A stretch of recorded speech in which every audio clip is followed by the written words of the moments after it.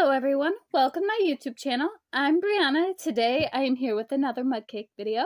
This is a golden Oreo mug cake and it's just three ingredients.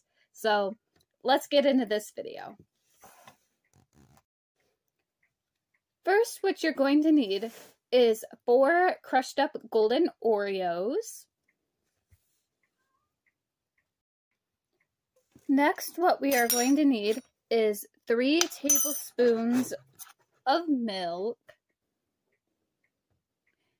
And what I'm going to do is I'm going to put the three tablespoons of milk in and then crush the Oreos with it.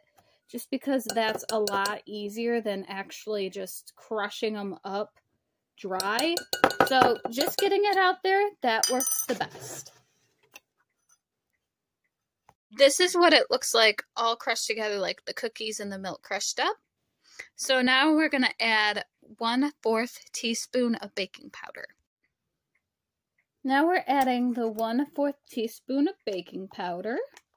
And then we're going to mix that all together and put it in the microwave for one minute.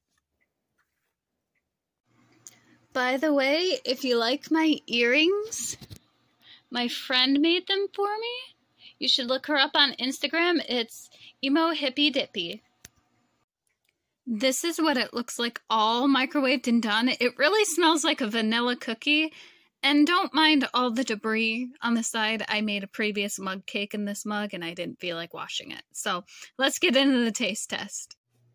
I am like super excited to try it. It smells so good.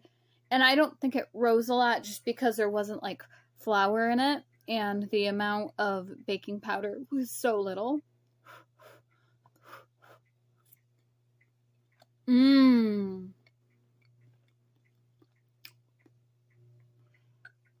That's really good. It tastes a lot like a sugar cookie.